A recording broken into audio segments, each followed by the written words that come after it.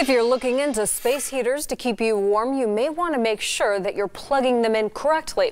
Tonight, 23 ABC's Alexa Ray tells us about the warning of using them incorrectly. Alexa.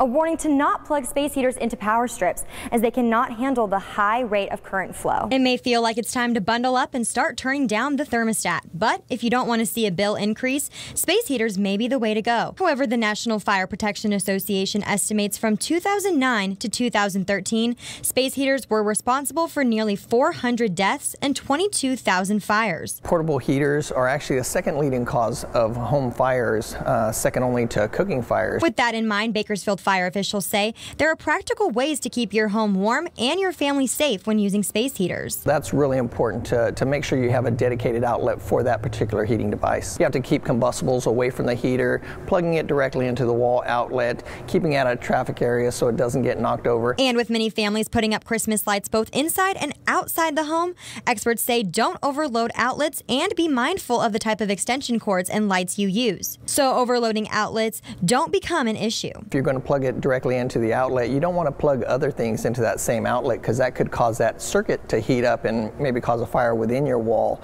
uh, or actually um, make your circuit breaker pop. To avoid the power struggle altogether, Frando says there are really no alternatives. It's just a matter of doing everything safely. Making sure that you and your family stay safe and warm this holiday season. In Central Bakersfield, I'm Alexa Ray for 23 ABC News. Gas prices around the country may be falling, dropping